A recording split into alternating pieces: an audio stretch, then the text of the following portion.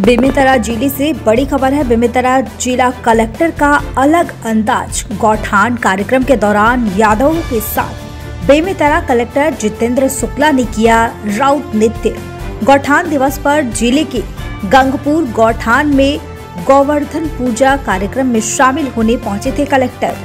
बेमेतरा ज़िले से बड़ी खबर है, बेमेतरा जिला कलेक्टर का अलग अंदाज गौठान कार्यक्रम के दौरान यादवों के साथ। बेमेतरा कलेक्टर जितेंद्र शुक्ला ने किया राउत नृत्य।